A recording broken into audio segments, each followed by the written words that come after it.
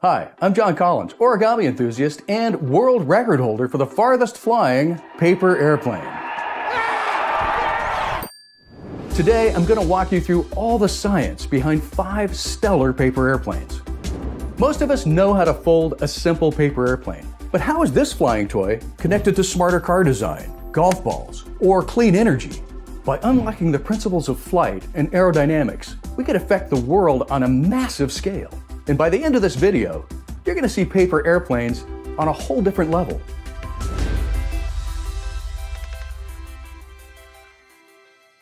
So to understand how this flies, we're going to have to go back and look at this, the classic dart.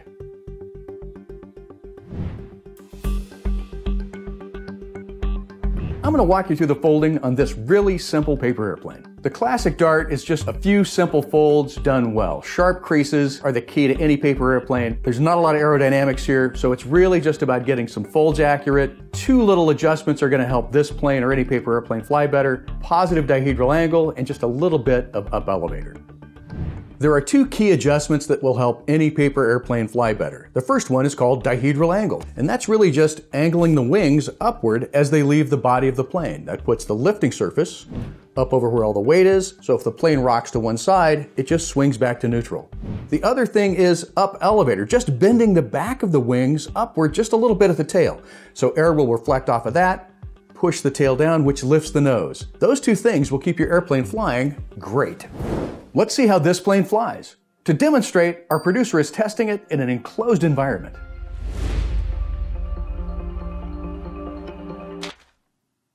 With the main forces acting on this plane to fly, this plane will travel only about as far as your strength can muster before gravity takes over. But that's the problem. There's too little lift and too much drag on this plane. The ratios are just all off. Drag is the sum of all the air molecules resisting an object in motion. That's why windshields are now raked way back on automobiles. That's why airplanes have a pointy nose, to reduce drag. You want to cut down on the amount of drag so that it takes less energy to move forward. And with any flying machine, even our paper airplane, drag is one of the four main aerodynamic forces. The others are, of course, thrust, the energy that pushes an object forward, gravity, which is, of course, the force that pulls everything toward the Earth, and lift. That's the force that opposes gravity. And when all four of those forces are balanced, you have flight. Here's how all these forces are acting on the plane. When the dart flies through the air, it uses its narrow wingspan and long fuselage with the center of gravity positioned near the center of the plane to slice through the air molecules. It's very sturdy and flies very straight. The problem is, it can only fly about as far as you can chuck it before gravity takes over.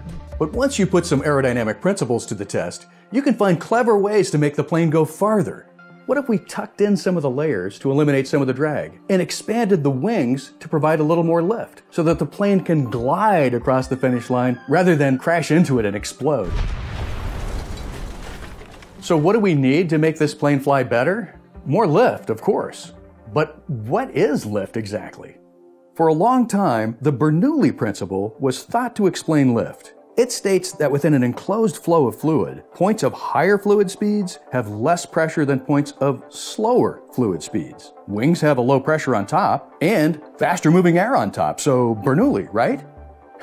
Wrong. Bernoulli works within a pipe, an enclosed environment. Faster moving air in this case does not cause low pressure atop the wing.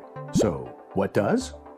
To understand that, we're going to have to take a really close look at how air moves around an object.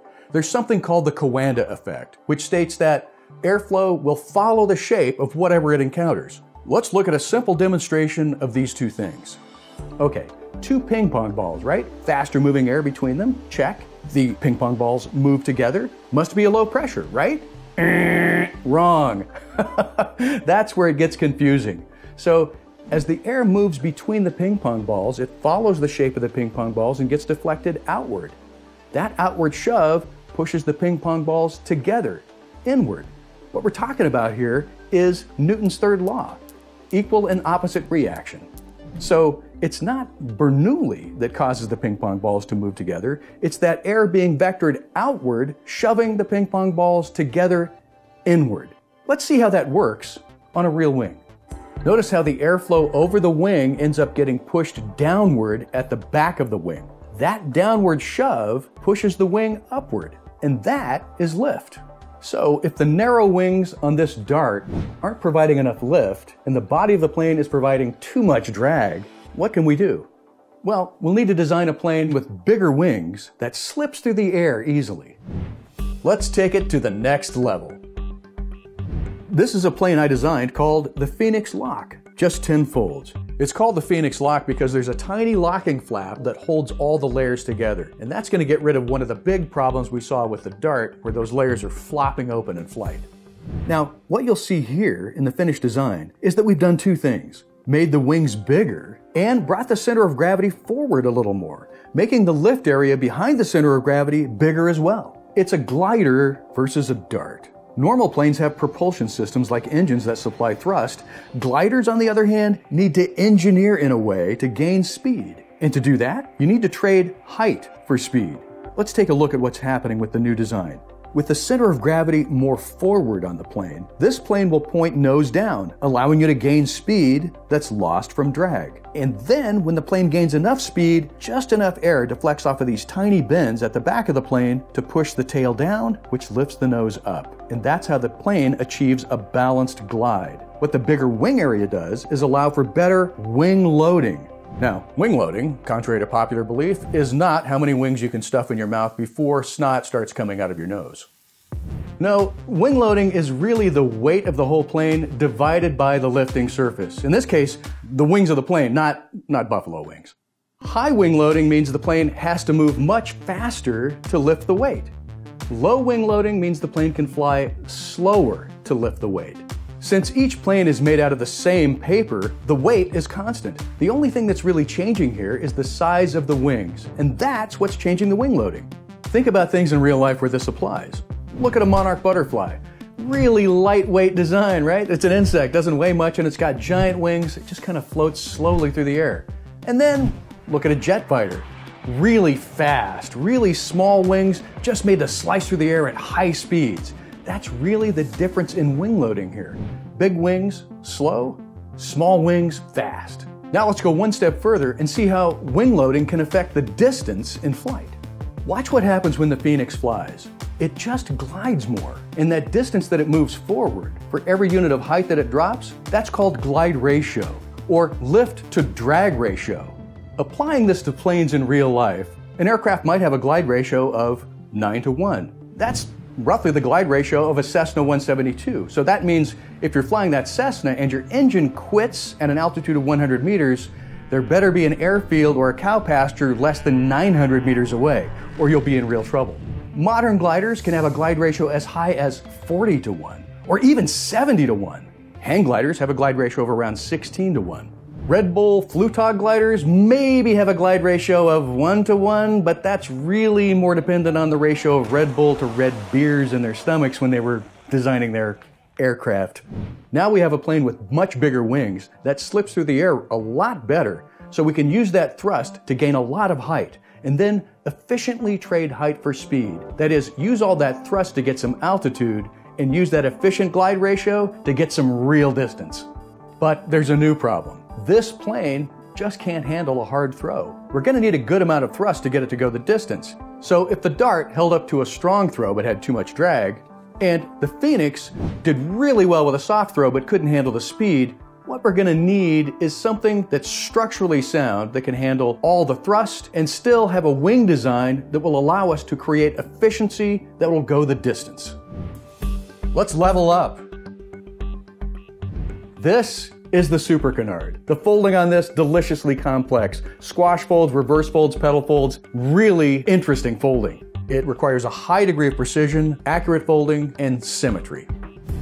And what's special about it is it's got two sets of wings, a forward wing and a rear wing, and that's going to make the plane stall resistant. We'll talk more about that in a moment. We can see a few things here. Center of gravity is in front of the center of lift. Check. Can it hold together with stronger thrust? Yes. The winglets actually create effective dihedral, making the wingtip vortices shed more cleanly and control left-right roll better, making it more stable in flight. Wing loading? Well, the interesting thing is you can see the design of the dart inside the canard, and what it looks like we've done is added more wing area to it. However, the canard design is much smaller than the Dart, so we're not getting a big advantage here in terms of wing loading. It's very sturdy, so it can handle a lot of thrust, so we're hoping it can go the distance. But what's really cool about this plane is that it's stall resistant. Let's take a look at what a stall actually is on a wing. A stall is caused either by too slow of an airspeed or too high an angle of incidence. Remember the Coanda effect. The Coanda effect is the tendency of a fluid to stay attached to a curved surface. When air travels over a wing, it sticks to the surface, and bending flow results in aerodynamic lift. But when a plane is traveling with too high an angle of incidence, the air can't adhere to the surface of the wing, so lift is lost. And that's what we call a stall. If we give the front wing on the canard a slightly higher angle of incidence, then the front wing stalls first. That drops the nose down, and the main wing keeps flying. And that results in a stall resistant plane. Let's see this in action. Look at that, the stall resistance, that's actually working. Ah, but here's the problem. Way too much drag. All those layers we added to the front of the plane to make that little wing happen, really causing the performance to suffer here. So we're gonna have to get creative maybe even out of this world. Next level. This is the tube plane. No wings. It rotates around a center of gravity that isn't touching the plane, and it gets its lift from spinning. What is this sorcery? The folding on this paper airplane is entirely different from anything you've ever folded before, but it's actually really simple. You're gonna start by folding a third of the paper over, and then you're gonna fold that layered part in half a couple of times. You're gonna scrub that over the edge of a table to bend it into a ring, and bada bing, you've got a tube. Now, because this plane is circular and it spins as it's flying, we're gonna generate lift in a whole new way using something called a boundary layer.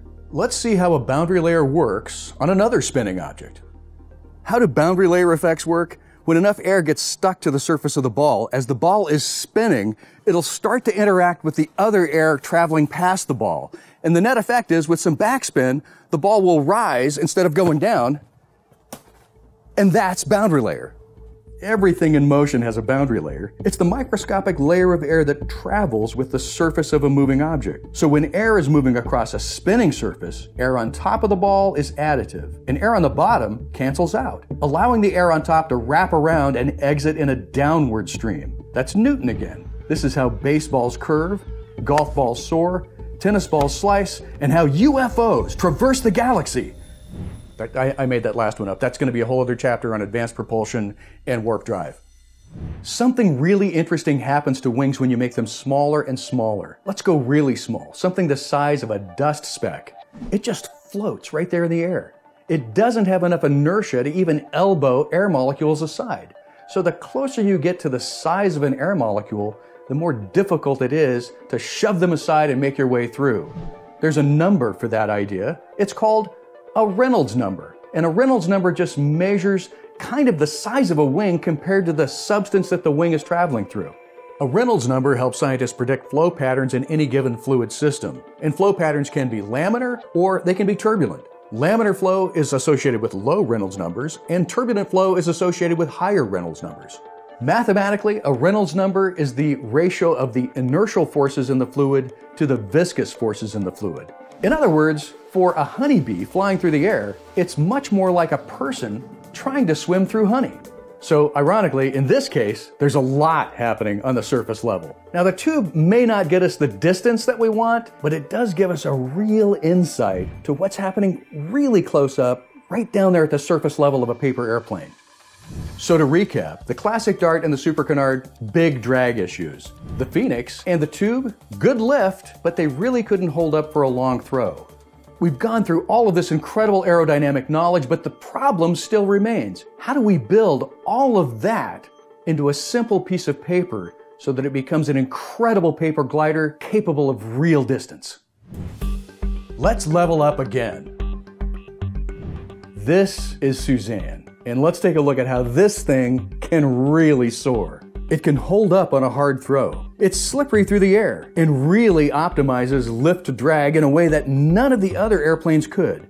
This is a surprisingly easy plane to fold, just a few simple folds, but the key here is to really make the creases flush and precise. The adjustment of the wings is also critical. Dihedral angle here becomes really important. So, taking into account everything we talked about, let's look at how this design actually flies. Reynolds numbers tell us the airflow may shift from turbulent at high speeds to more laminar flow at slower speeds. At launch, the flow is laminar only at the nose. Because of the Coanda effect, as the plane slows down, the air starts sticking farther and farther back on the wing. At slower speeds, the plane needs more dihedral to keep from wandering off course.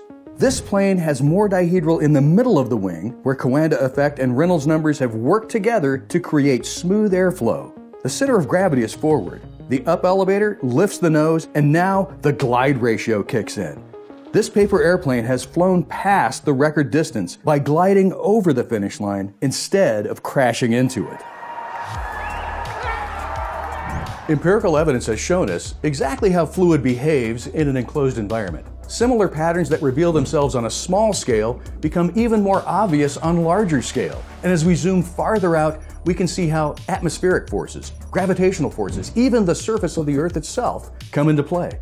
And once we reach a deeper understanding of what we're seeing, that will allow us to unlock not just better airplanes, but potentially a way to build more accurate tools for predicting weather, a way to build better wind farms, Everywhere that fluid dynamics touches technology, there's an opportunity to make things more efficient for a greener, brighter future. And that's all the science behind folding five paper airplanes.